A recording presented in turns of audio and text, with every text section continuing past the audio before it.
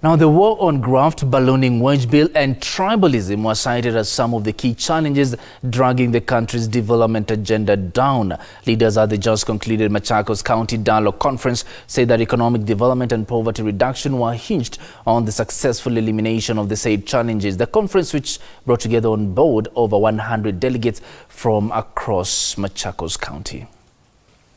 As the county government of Machakos, we will work very closely with members of this dialogue team to ensure that some of the recommendations that touch on the county government of Machakos that are in this paper are implemented.